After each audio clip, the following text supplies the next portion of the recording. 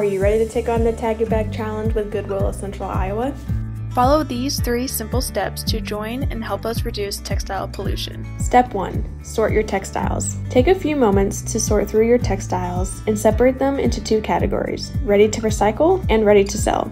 Ready to recycle items include worn out or stained clothing, bed sheets, pillowcases, rugs that do not have plastic or rubber backings, and old towels. Ready to sell items include clean, dry, and folded clothing items that are still in good condition and suitable for resale in our retail stores.